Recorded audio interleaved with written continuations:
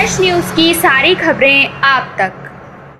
Waste Vinod नगर ward से आप party से निगम पार्षद गीता रावत को सीबीआई की एंटी करप्शन ब्रांच ने रंगे हाथों रिश्वत लेते हुए गिरफ़्तार किया।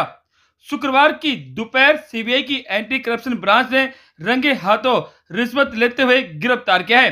दिल्ली में सरकारी काम करने के लिए रिश्वत की डिमांड की गई थी। आरोपी महिला प्रदेश के उप मुख्यमंत्री मनीष सिसोदिया के पटवर्गन विधानसभा क्षेत्र स्थित वेस्ट विनोद नगर वार्ड से पार्षद है।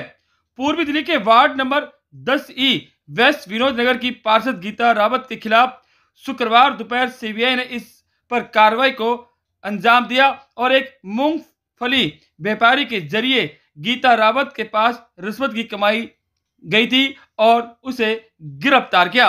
मूंगफली वाले सनाउल्ला के पिता को इस बात का पता चला कि उनके बेटे को किसी ने पकड़ रखा है तो वह दौड़कर निगम पार्षद के ऑफ़िस पर गए। वहाँ जब उन्होंने पूछा कि आपने मेरे बेटे को क्यों पकड़ा है तो वहाँ मौजूद सिविल ड्रेसधारी लोगों ने कहा कि हम सीबीआई वाले हैं और आपको पता चल जाएगा कि हमने आपके बेटे को क्यों पकड़ रहा है। बाद में पता चला कि के मूंगफली वाले के द्वारा गीता रावत, जो आप पार्टी से निगम पार्षद है, रिश्वत जाती थी और सीबीआई को जब पता चला तो उन्होंने अपने नोटों पर स्याही लगाई और वह रिश्वत मूंगफली वाले को दी और मूंगफली वाले ने गीता रावत को दी और उसी समय सीबीआई की एंटी करप्शन ब्रांच ने गिरफ़्तार कर लिया। इस पर हमने पूर्वी दिल्ली के मेयर श्याम सुंदर अग्रवाल से शुक्रवार की शाम हमने पूछा तो उनका यह कहना था कि जो आप पार्टी के पार्षद सदन में हंगामा करते थे और भाजपा को गालियाँ बकते थे, आज वही निगम पार्षद कर लीन है और उनको गिरफ़्तार किया है। कहा कि अभी तो एक गिरफ्तारी हुई है, अभी तो कितने और निकलेंगे। सुने आप, मेयर श्याम सुंदर अग्रवाल की बाइट। आज एक गीता रावत को पकड़ा गया है, वो ईश्वर लेते पकड़ी गई है। निगम के तो दुखदाई है, लेकिन एक पोल सामने खुल के आई है कि ये जो सदन में शोर मचाते हैं, अभी जो पिछला सदन हुआ, उसके अंदर जो इन्होंने हंगामा किया, जो भाजपा पार्षदों के लिए उल्टा सीधा बोला, ये कितने आकट में डूबे हैं, आज सीबीआई के छापे से साबित हो गया है।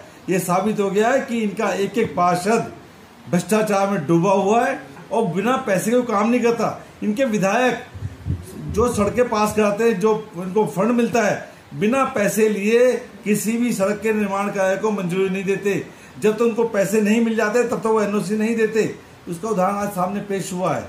अभी तो एक ही पकड़ा गया है। आने वाले समय में ऐसे इनके बहुत से भ्रष्टाचार खुलने वाले हैं। इनका एक एक पार्षद पकड़ा जाएगा, एक एक विधायक पकड़ा जाएगा अच्छा एक कहा जा रहा है कि एक मूंगफली वाले के थ्रू वो पैसा लेती थी तो क्या इसकी जानकारी निगम को पहले से भी थी या कहीं कोई और भी ऐसे पार्षद हैं जिनका नाम बताना चाहेंगे? देखिए मैं किसी नाम नहीं लेना चाहूँगा सब आपके सामने आएगा। आज एक पकड़ा गया कल को दूसरा पकड़ा जाएगा।